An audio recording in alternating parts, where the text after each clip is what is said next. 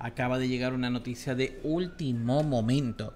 Fíjate que la Casa Real Inglesa sigue dando de qué hablar, la familia real sigue en movidas en donde la tensión impera en cada pasillo de Buckingham. Y vamos que es bastante que decir, pues el mismísimo príncipe Guillermo está demostrando una vez más que nada ni nadie lo va a controlar y mucho menos a dirigir sus decisiones. ¿Qué momento este del que te vengo a hablar a continuación?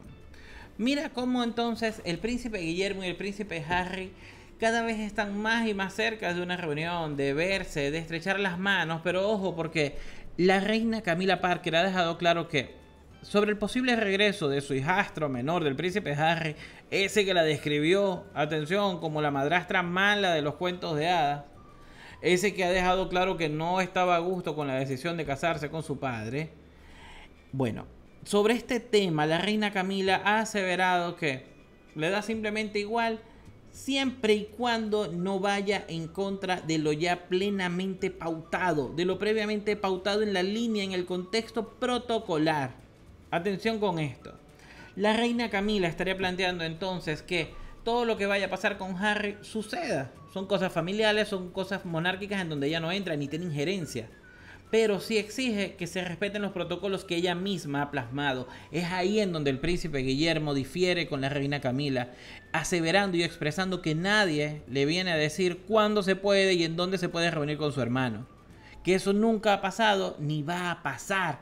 Por lo tanto, el príncipe Guillermo plantea a viva voz que se viene una reunión formal con el príncipe Harry, que van a destapar sus cartas, como dice el argor popular, y van a expresar lo que cada uno busca y quiere en el reino.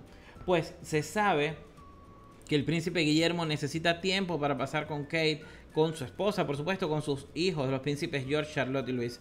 Pero en paralelo, también se sabe que le hace falta ayuda y es ahí en donde el príncipe Harry entra con un rol, bueno, de hermano que es de una persona que quiere muchísimo al príncipe Guillermo y que le va a dar su mano amiga durante este periodo, durante este tratamiento de Kate Middleton. Momentos de mucha tensión porque la reina Camila aparentemente le ha dejado claro al príncipe Guillermo que ella no va a apoyar esas reuniones fuera de los protocolos, pero el futuro rey de Inglaterra, el príncipe Guillermo, le ha marcado las cartas también a su madrastra diciéndole que él se va a reunir con su hermano cuando lo crea pertinente sin pedirle permiso y mucho menos autorización a nadie, repitiéndose el episodio que sucediera hace unos meses atrás cuando el rey Carlos se reúne saltándose todos los esquemas protocolarios con su hijo, el príncipe Harry. ¿Te acuerdas aquella tarde en donde, estando en Londres, ambos, el príncipe Harry le pide una audiencia a su padre, se ven de forma inmediata y lo abraza, le dice, papá, yo te voy a apoyar en la lucha contra el cáncer.